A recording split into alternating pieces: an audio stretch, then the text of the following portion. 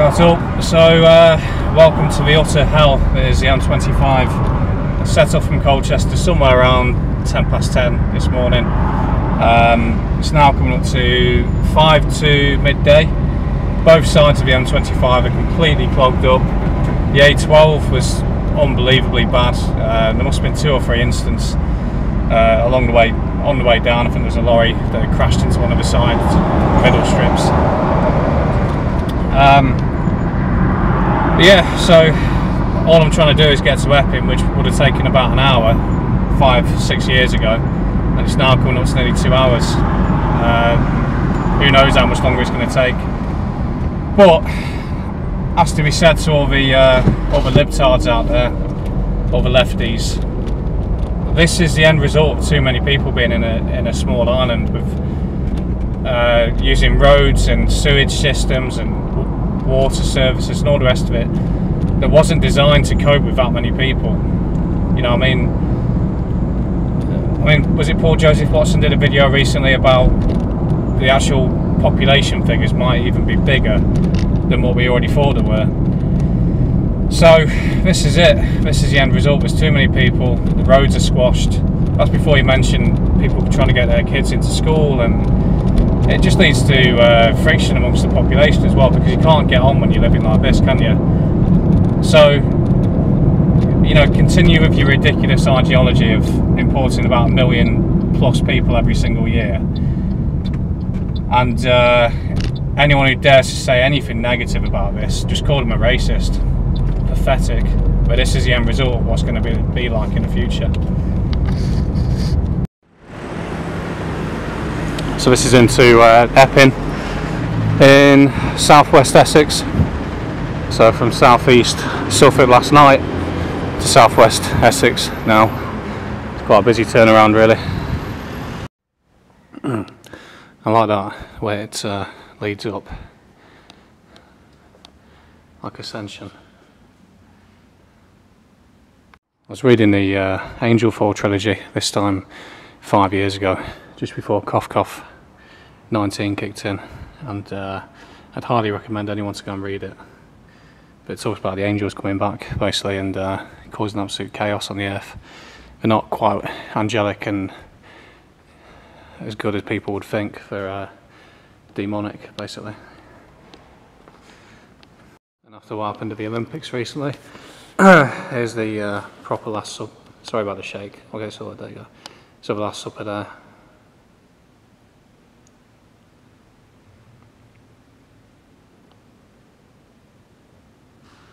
This is the market.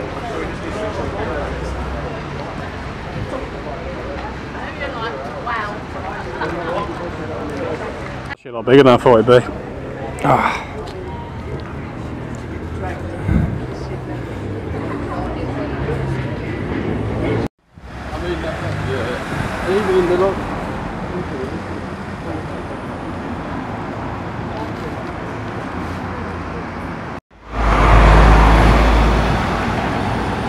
Already towards the end of the uh, town centre now.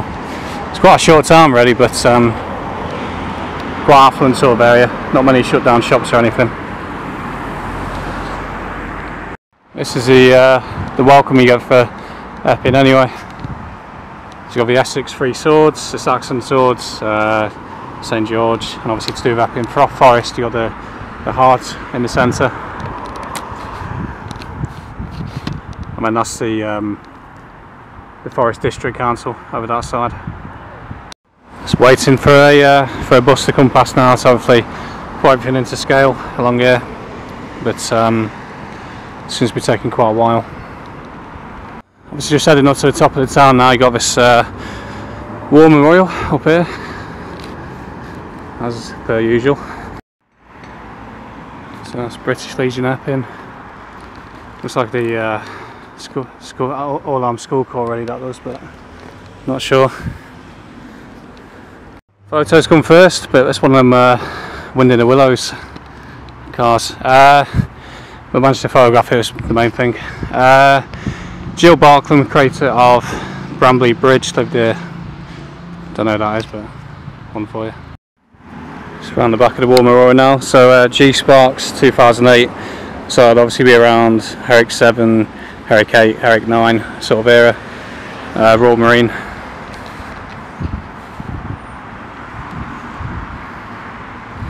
Don't know if it's a set of glasses there, it's a bit random. Something to give uh, his credit for. A lot of large green open spaces.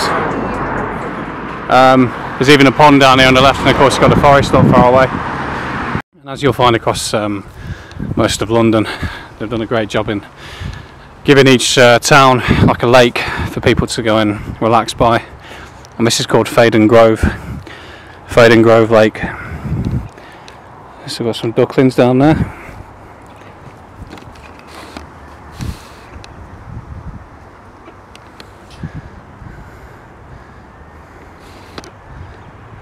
Oh, I've got it. That's enough.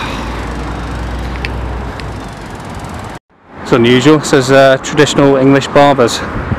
Chaps. Report, strawberry.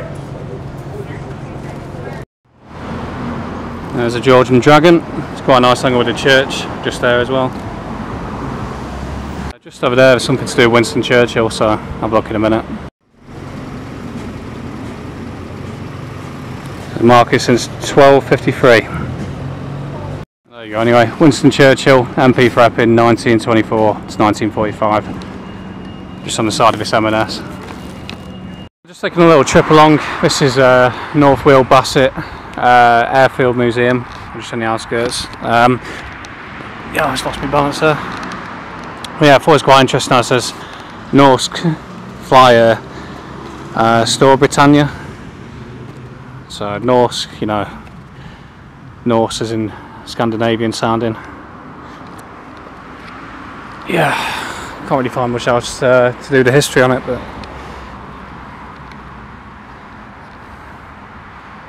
yeah, a lot of oak trees around here as well, which is nice. A bit of a clue. So looks like a Norwegian Norwegian flag, even though it's not flying very well. So the Norsk, I'm presuming that's the uh, the link that's uh, the museum's not open today, it's open on um, Saturdays and Sundays between 12 and 5 if anyone is interested. And I'm just watching some people going to Booker's and it really is like watching the Americanisation of Britain, all these supermarkets that have come in and uh, a lot of seriously overweight looking people going in there as well. So I'd always say go and fund local businesses myself rather than funding that lot. So the photo, uh, you can see the museum's just here, which is obviously just here, and then um, that flagpole just there will be that one just there, and then obviously as the uh, as the place got shut down, it went on to become a Booker's in the future, and uh, one day, if things continue as they are, I personally think all this sort of stuff will get forgotten about. Quite sad really, but that's what I think.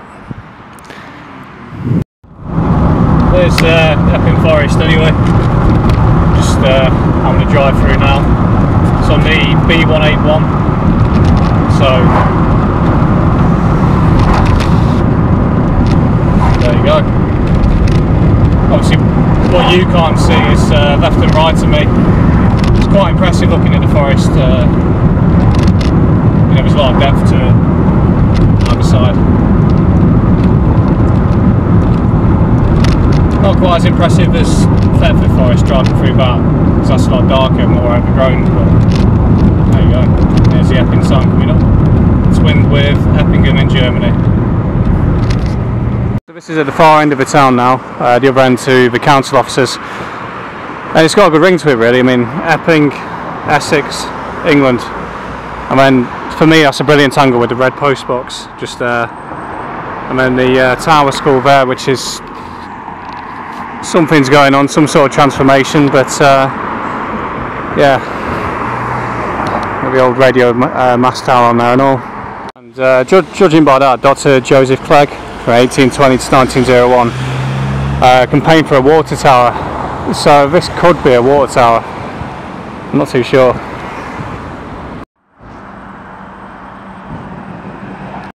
Quite an impressive feature really that water tower, if it is a water tower. Concludes Epping for today. But I just thought I'd have a quick look at this uh, clock on the side of the church. Put there in 1908. It's been pretty hard putting out there. Yeah, that's about it really. It's all uh, died down for the day. Markets are well over. So that's really it, I think. Spoke too soon. Um, well, what more can you say? A church here that's uh, been sold. Wonder what that's going to be converted to. Someone commented on my channel the other day saying um, probably a mosque. You know, on about the one in Downham Market.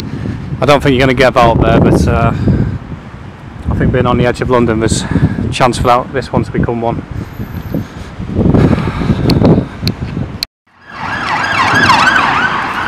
Loads of them up and down here today. This is the uh, Duke of Wellington, just on the outskirts of the town, and uh, with chippy there. Is 1966 with a St George flying by it. And this is uh, heading back from Epping Forest. Um, when I was in one of the pubs earlier, I sat down and towards the end of my pint, it was coming to the end of my time, and uh, the people at the bar started talking about uh, Cough Cough 91 making a comeback. Um, apparently in Hertford, it's this C19 is everywhere, um, and it's making a comeback. Now, I couldn't really be asked getting into an argument. It wasn't. Uh, it wasn't the time really. I don't think to start talk. I don't know. Maybe I should have said something, but I didn't, and it's done. Um, so that's the end of that really. But afterthoughts. Uh, I mean, the thing is with a lot of these people, if you still believe in all that stuff and you haven't questioned what happened, you're too far gone. So does it really matter that much? I don't know. Maybe I should have said something, but I didn't. Um, but coming up now, on the left hand side in about half a mile, is the Bell Hotel, which is where DJI Media, Media went and did an audit on. And it's where Tyrone, Mohammed, and Abdullah are living uh, at the expense of us, the tax paying mugs. Um, he, they're very aggressive to him, uh, they wouldn't let him leave because he went round the back into the car park to try and have a look round the back. And uh, this big aggressive African was basically holding him hostage, and he had to call the police to come and um, let him go basically because they're, they're, holding him to holding him hostage. Now, uh, I should have brought this up, but um, you know, I mean, as I've always said, to me, these people in this hotel, uh, they are UN soldiers uh, brought in by the government for when the procedure from C19 starts to kick in and go wrong. Um, that is, without a doubt, what I believe. Now, that being said, a positive of where I've just come from, you know, Epping Forest, if that was to happen, and these people, the government was to try and deploy these people on the streets and uh, lock everybody in, it wouldn't happen. Just look how much countryside is all around us. It won't happen. So this is the Bell Hotel now on the left. Um, it looks really quiet now. I can't quite tell if there's anyone in there. But uh, yeah, so you know, a positive from from that outcome if the the government did try to do that, which I wouldn't put past them, um, they'd fail. You know, people could easily go out into the countryside. They don't have to stick on the roads, do they? And also, from that point on, it will be a, an open declara- declaration of war ready from the government. They've come out and tried to uh, impose a real tyranny on the on the public, uh, which won't succeed. So there's a positive from that anyway. And that's it for this one. Corporation of London. Ruled over by the old dragons.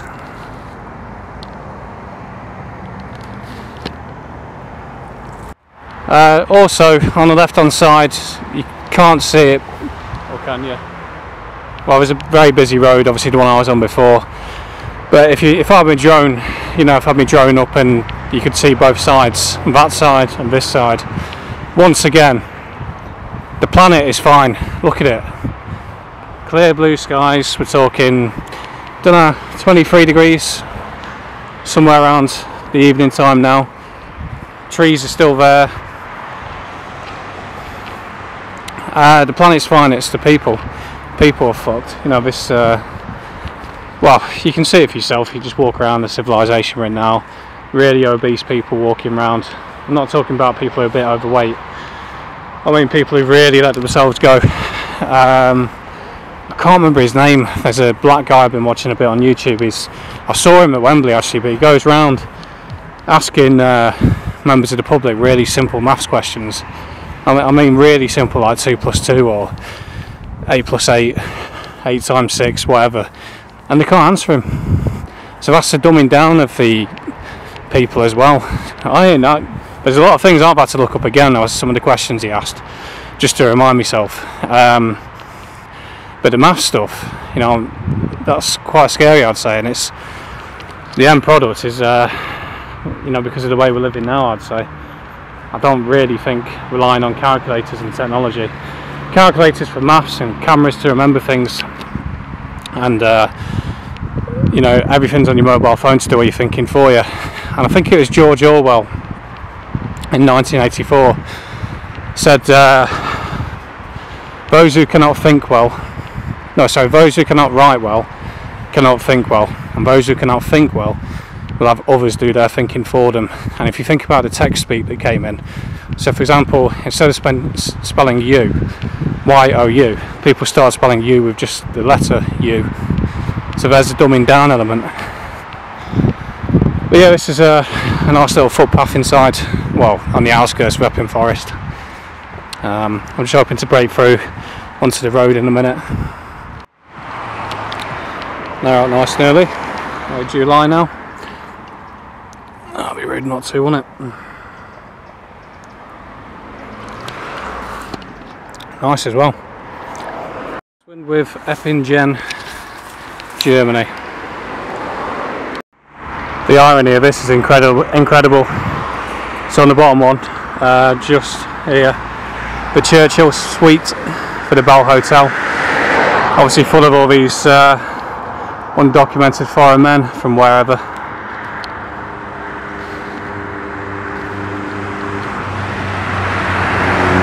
Hard to tell really, I don't really know whether it's still, uh, it looks really deserted now, so I'm not sure.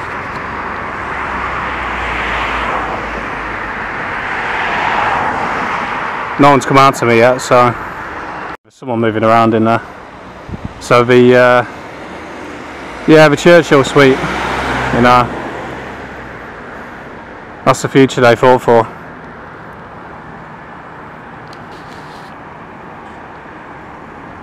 LN09 VFA. It's got a uh, planning notice here, uh, full planning permission, um, proposal, temporary change of use until the 30th of June 2024, so that's already been and gone.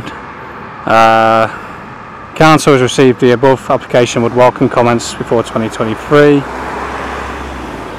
Nigel Rich Richardson from Epping Forest uh, District Council. There's a light on over there. That's the bell. Um, yeah, not really sure. Yeah, so to finish on, that's the Bell Hotel. No one came out to me.